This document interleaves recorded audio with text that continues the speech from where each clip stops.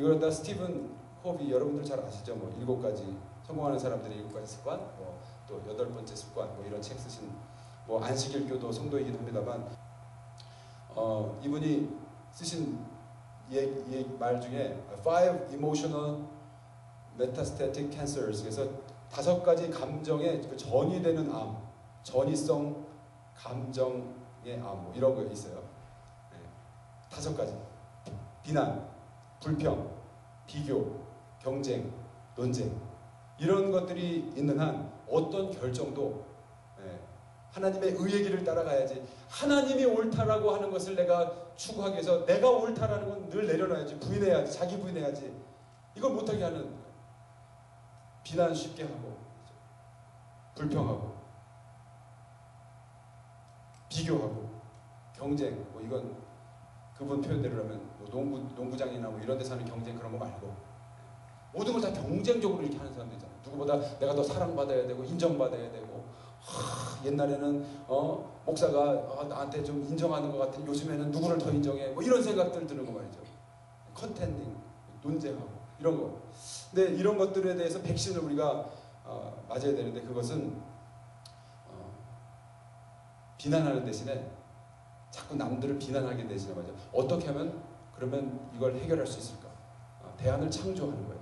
창조하는 거예요. 그리고 불평하는 대신에 기여하는 거예요. 자꾸 불평할 거리들이 생기면 어 저 부분은 그러면 내가 좀 해결을 해줘야 되겠다. 네, 기여하는 거예요. 비교하는 대신에 축하해 주는 거예요. 아유 당신이 나보다 낫네. 아우 배가 아픈 것 같지만 축하해. 축하하는 쪽으로 막 해버리잖아요. 그러면 상대도 좋아하고 나도 업됩니다. 그리고 내 안에 있는 가능성도 발견하게 돼요. 상대를 보면서 내가 배가 아픈 게 아니라 어 상대도 하니까 나도 할 수 있겠구나. 그 되어지는 원리들을 내 안에서 발견할 수 있게 된다는 것입니다. 축하하게 축복하게 해주게 되는 말이죠. 그런데 경쟁하는 대신에 협력하고 논쟁하는 대신에 좀 편안한 마음을 갖게 하고 나도 갖고 하는 거예요. 그렇게 됐을 때 우리가 이런 감정적인 암들을 막을 수가 있습니다. 이 감정적인 암들 이것들 때문에 멀쩡하던 사람들도 결정을 그렇게 했던 사람들도 그냥 하루아침에 모든 것을 그냥 오늘 설교 듣고 나서 오늘 밤에 가가지고 또 막 이상한 짓 하고 또 전화 걸어가지고 막 누구 험담하고 뭐 이런 이런 것들을 우리가 하게 된다고 한다면 이런 감정적인 암 세포들이 우리 안에 있다라는 것입니다. 백신을 맞아야 되는 의도적으로 그런 것들을 자꾸 해 나가야 되는 것이죠. 그 모든 백신들의 핵심을 하나님 경외다라고 표현할 수 있습니다. 여호와는 그들을 경외하는 자, 곧 그의 인자하심을 바라는 자를 살피사 그들의 영혼을 사망에서 건지시며 그들이 굶주릴 때에 그들을 살리시는도다. 하면서 경외하는 자, 자기가 그렇게 옳다고 생각하지 않는 자, 에이, 내가 아무리 옳은 것 같지만 그래도 하나님보다야 옳겠어.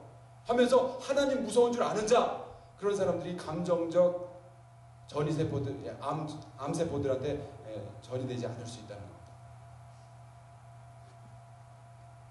세 번째 마지막으로 어, 허기와 갈증, 침체와 절망에 대한 해법을 항상 갈망하며 미리 준비하십시오. 만족한 상태는 하루아침에 주어지지 않습니다. 어, 허기와 갈증은 뭐 누가 느끼고 싶어서 느끼게 되나요? 그런 문제에 부닥치게 되는 거 예고 없이 올 때도 많잖아요. 그러나 그런 일을 팍 부딪혔을 때 계속 슬럼프에 빠지고 아주 그냥 죽고 싶은 그런 기분까지도 드는 경우가 생기잖아요. 근데 그런 일이 생겼을 때 미리 준비한 사람들은 벗어나올 수 있다는 것입니다. 미리 근력을 키울 사람들, 미리 그것에 대해서 어, 그런 것에도 아랑곳하지 않고 자기가 항상 주목하고 있는 그 문제 너머에 있는 것을 갈망하고 있었던 사람들은 해법을 가지고 있다는 거예요. 행복 전도사라는 별명을 가진 자살했다는 얘기 다 들으셨죠? 예. 저도 어, 뭐 모르는 분이었어요. 전혀 저는 이쪽에 뭐 이렇게 뭐 강사 이쪽으로는 별로 관심이 없어서 잘 몰랐는데 제 친구가 알려줘서 봤어요. 그래서 막 찾아봤어요. 행복 전도사라는 사람이 자살을 했다. 모든 사람들에게 이렇게 하면 행복하게 살 수 있다고 막 얘기하셨던 분인데 지금 당신 표현대로라면 700가지의 고통이라고 그러던가 질병이 있는데 그것으로 인해서 너무너무 고통스러운 시간들을 보내고 이게 인생을 산다라는 게 어, 자기도 무의미하고 남들에게도 뭐 도움이 안 되고 뭐 그래서 그런 결정을 내리신 것 같아요. 어, 제가 이렇게 유튜브로 이렇게 비디오도 보고 그랬는데 대단한 입심을 갖고 계시더라고요. 그분 얘기 한 5분만 들으면 머리가 확 뒤집어져 가지고 어, 맞아 행복하게 살아야 되겠다 이렇게 결정을 하시게 만드는 대단한 웅변가시더라고요. 근데 그분이 이런 말씀들을 하셨어요. 다 지금 읽어보셔도 여자도 경제 활동을 해서 독립국가로 살아야 한다. 그러면 우울할 틈이 없다.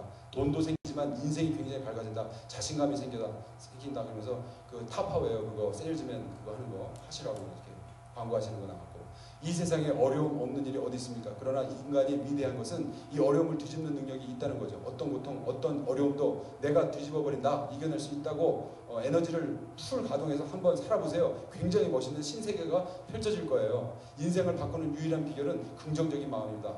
책들, 행복이 뭐 별건가요? 행복의 홈런을 날려라. 밥은 굶어도 희망은 굶지 마라. 멋진 노후를 예약하라. 그렇게 하셨어요. 아마 굉장히 존경하고 사랑하시는 분들도 계셨을 거예요. 어, 이제 참 마음이 아프더라고요.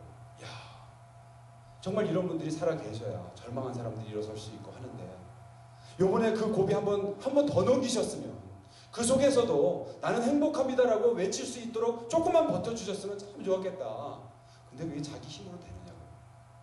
그건 진짜 그렇게 해달라고 하는 건 가신 분에 대한 어떻게 보면, 어, 주제 넘은 어떤 요구일 수도 있겠죠. 오죽하면 가셨겠습니까? 그죠? 그런데, 그럼에도 불구하고, 이런 일이 나한테 안 올 수 없다는 겁니다. 제가 오늘 이렇게 설교하고 나서 집에 가서 무슨 짓을 하고 어떤 악한 짓을 할지 누가 알아요? 모르는 거예요. 그런 위기와 가능성들은 항상 지뢰처럼 숨어 있는 거예요. 우리는 다 이런 악에 노출되어 있는 자들 아닙니까? 그래서 그것에 대한 해법을 미리 가지고 있어요. 항상 이런 문제가 생길 줄 알고 하나님 나는 이런 문제가 닥치더라도 이거보다 더 큰 것을 갈망하는 그런 삶을 살게 이렇게 돼 있으셔야 돼요. 그게 안 되면요. 꽉 넘어지는 거예요. 예, 말씀 맞, 맞, 맺겠습니다. 그래서 이 달라스 빌라드는 그런 말을 했어요. 믿음과 순종을 결합해야 된다. 어, 나 같은 사람도 구원해 주신 우리 하나님 너무 감사해. 나는 이제 그분을 신뢰할 거야. 그분이 이끄시는 대로 살 거야. 하기 때문에 그분은 대단한 분이야. 이제 그분이 나를 구원해 주셨어. 이런 신뢰 관계가 형성이 되었으면 그분이 이제 원하시는, 그분이 옳다고 생각하시는 그것을 배우면서 따라가라는 것입니다. 여러분, 이 신앙생활은요, 이거 아니면 저거예요. 양다리가 안 되는 거예요. 여러분들, 대, 저나 여러분 대충 이렇게 하면 될 것 같죠? 이런 경우 딱 걸리면요, 그냥 무너지는 거예요. 참 이 소중한 분 아니에요. 한국 사회 같이 절망이 쉽게 되고 불평이 쉽게 되고 이 감정의 다섯 가지 암이 온 가슴 가슴마다 다 퍼져 있는 우리 사회 이런 분들 얼마나 소중해요. 와, 이 마귀가 그냥 팍 친 거 아니에요. 그죠? 그러면서 우리를 더 절망하게 만들고 힘들게 만드는 거 아니에요. 근데 그때 그런 마귀의 공격 앞에서 그래도 브레이크스루 할 수 있는 사람이 누구냐고요. 크리스찬이라면 그거 브레이크스루 해야 되는 거예요. 돌파해야 되는 거예요. 그 믿음으로 돌파하는 건데 믿음만 가지고는 안 된다는 것입니다. 평상시에 준비된 게 있어야 돼요. 의의 길을 늘 따라가는 그것이 있어야 돼요. 내가 보기에 옳은 거 아니고요. 하나님이 보기에 오르신 그 수준에 맞는 훈련을 해 놨어야 돼요. 그래야 이길 수 있어요. 결 그래야 이 죄와 사망을 이길 수가 있다고. 우리들의 적은 그렇게 만만하지 않습니다. 결국은 우리를 보란 듯이 개망신 줄 만한 그런 대비책들이 우리들의 적에게 지금 다 있어요. 내 인생 아무것도 아니구나. 아주 비참하게 사라지게 만들 수 있는 그런 대비책들이 우리 적에게 다 있다고요. 그때 아니야 내 인생은 너무나 감사하고 화려하고 황홀한 인생이었어. 할렐루야 하고 갈 수 있으려면 말이죠. 여기서 하나님 수준에 걸맞는 훈련을 받은 사람들만 가능하다는 거예요. 대충 교회 다니지 말자고요. 대충 목사 생활 하지 말자고요. 예? 아 하나님 이제 배우고 싶어요. 나 이제 그 수준에 맞게 준비하고 싶어요. 왜냐? 평상시에는 모르다가 결정적으로 나를 다 이루는 나를 쓰러뜨릴 그 대비책에도 내가 통과해야 되기 때문입니다. 그런 마음으로 겸손하게 배우셔야 돼요. 처음에 구원받았던 그 간절한 마음으로 배우셔야 돼요. 그런 배움에 성도들이 가득 차기를 주님의 이름으로 축원합니다. 같이 기도하시겠습니다.